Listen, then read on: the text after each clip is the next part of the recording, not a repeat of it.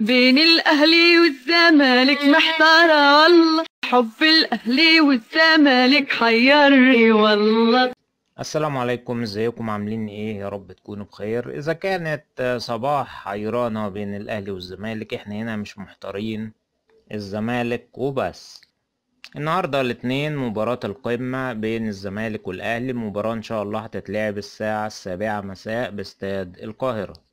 قائمة الزمالك لمباراة الأهلي في حراسة المرمى محمد عواد معاذ علاء الدين محمود أشرف.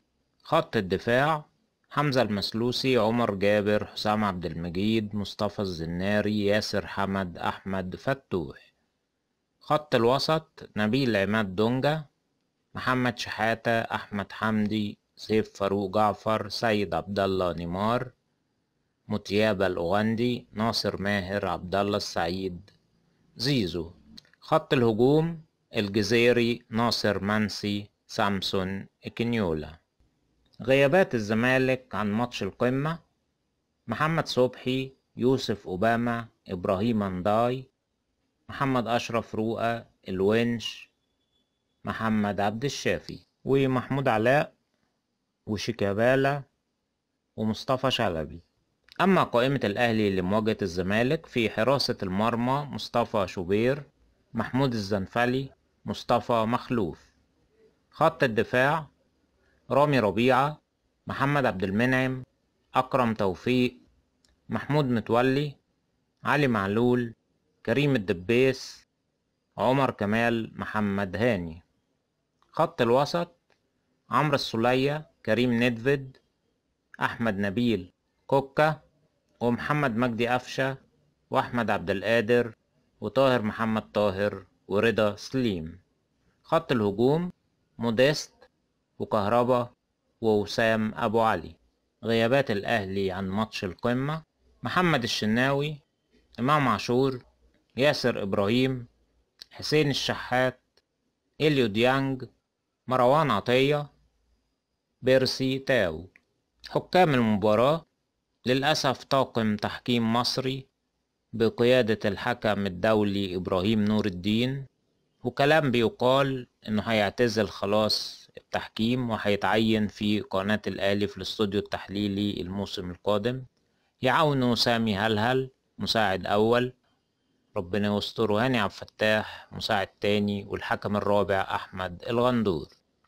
وتم إسناد مهمة حكام الفار للحكم الدولي محمد عادل ومساعديه عاطف حسين ومحمود أبو الرجال.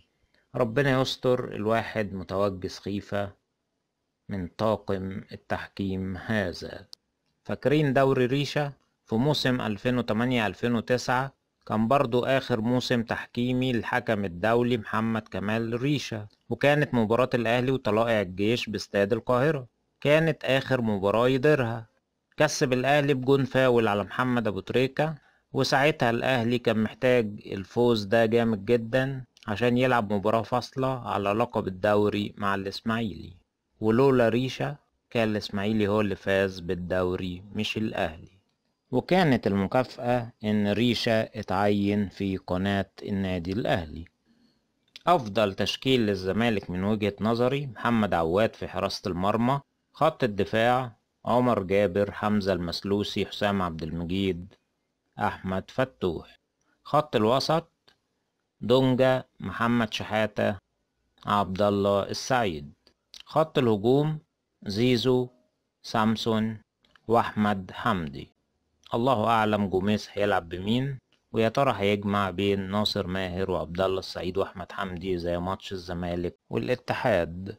بالنسبة لأفضل تشكيل للنادي الأهلي في رأيي الشخصي مصطفى شوبير لحراسة المرمى خط الدفاع محمد هاني رامي ربيعة محمد عبد المنعم علي معلول. خط الوسط السولية أحمد نبيل كوكا ومحمد مجدي أفشة خط الهجوم رضا سليم كهربا أحمد عبد القادر. لكن برضو الله أعلم كولر هيبتدي بمين؟ وادي قصادنا ترتيب الأهلي والزمالك في الدوري. الأهلي لعب عشر مباريات فاز في ستة اتعادل في تلاتة اتغلب واحدة له من الأهداف تلاتة وعشرين عليه حداشر. يعني الفرق اتناشر بالموجب وعنده واحد وعشرين نقطة وفي المركز التاسع. بالنسبة للزمالك لعب اتناشر ماتش فاز خمسة اتعادل تلاتة اتغلب أربعة أهدافه عشرين عليه تلاتاشر فرق الأهداف سبعة بالموجب النقط تمنتاشر والزمالك في المركز الاتناشر. فوز الزمالك على الأهلي يحيي أمال الزمالك في بطولة الدوري. هيبقى ساعتها الزمالك عنده واحد وعشرين نقطة من تلاتاشر مباراة. والأهلي عنده واحد وعشرين نقطة من حداشر مباراة. يعني الفرق هيتقلص للا شيء. ولو الأهلي كسب المباراتين الفرق هيبقى ست نقاط الفرق. عندنا ماتش تاني مع الأهلي في الدور التاني. يتقلص الفرق لتلات نقاط.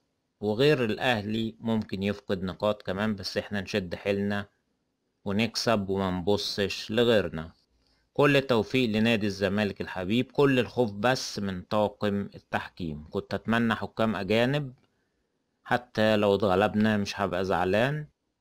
ونشوف النهاردة هيحصل إيه في الماتش وبين قوسين ونشوف هيحصل إيه من الحكام. في النهاية شكرا ليكم والسلام عليكم ورحمة الله.